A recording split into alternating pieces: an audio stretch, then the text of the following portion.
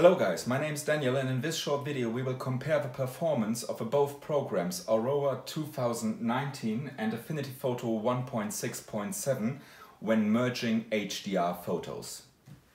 To give you a short overview of which system we are using, we are using a 2017 5K iMac 27 inch uh, with 3.4 GHz Intel Core i5. Uh, it features 8 GB of 2400 MHz um, RAM and it has a uh, graphic chip Radeon Pro 570 with 4 gigabytes of RAM. What is the test situation?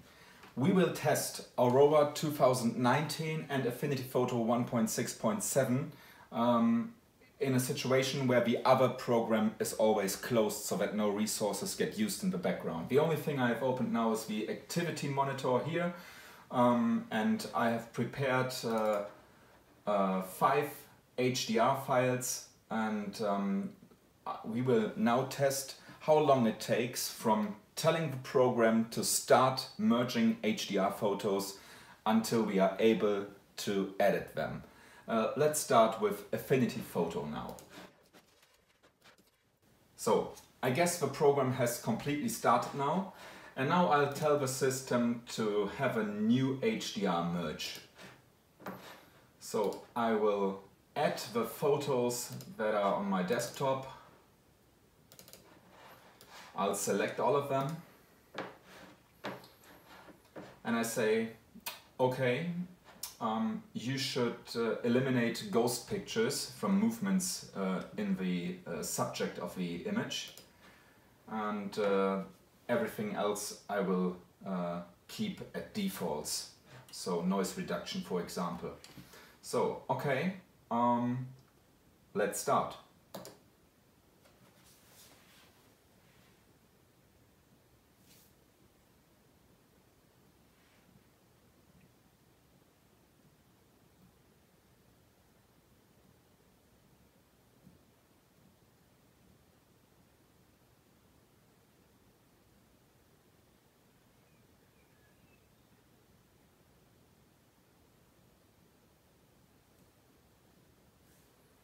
Everything was aligned and now it starts the HDR combination.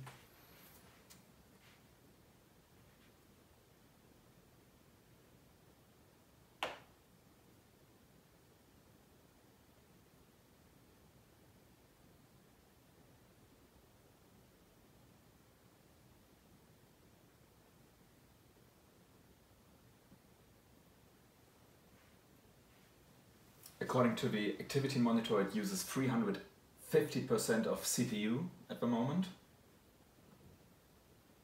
It's a strange uh, percentage, but it comes from uh, multi-cores. So now there is the noise reduction. We are not yet able to use the interface. Now it's uh, doing tone mapping.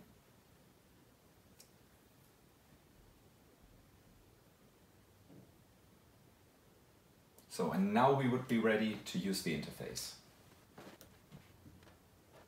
So now I have closed Affinity Photo, nothing is opened except the activity monitoring and let's start with Aurora HDR 2019. I guess the program has completely started up now, so I will say open a picture. We will also go to the HDR files I've used before and I'll say open. Now I get a dialog um, and I will say automatic alignment of the subject as I have this as a default with Affinity Photo. And I will also say that the system should reduce uh, ghost images and I will not uh, go for a reference image. I will leave it at the default, which is the standard um, exposure um, image with 0, uh, 0.0 steps.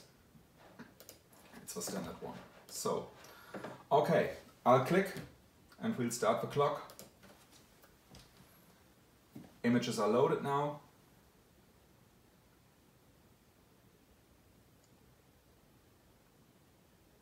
We are using 260% of CPU at the moment.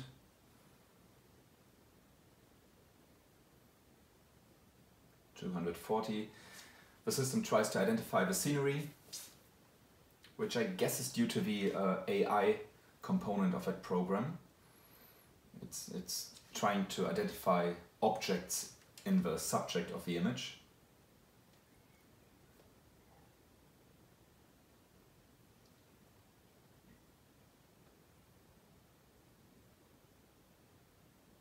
Final optimizations now.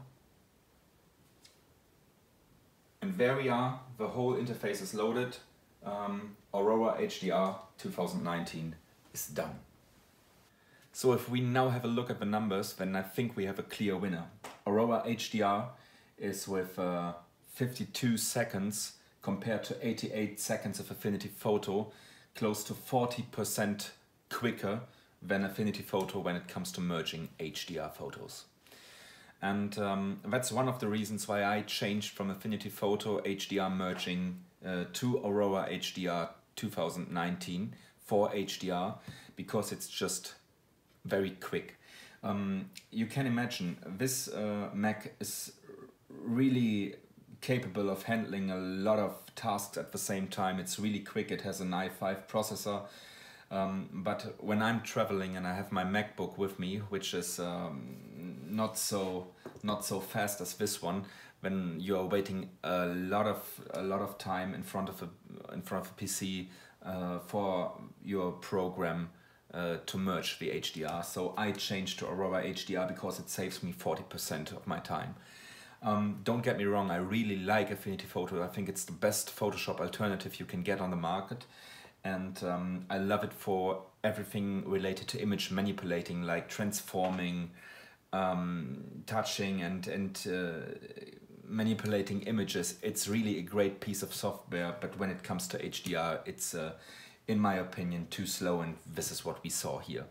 So, um, in the video description and in the first comment you can find links to both softwares, to Affinity Photo for image manipulating tasks and of course to Aurora HDR 2019 uh, for HDR editing. Yes, I hope this gave you a little bit impression of how both systems and both programs work and uh, please make sure that you hit the subscribe button to my channel.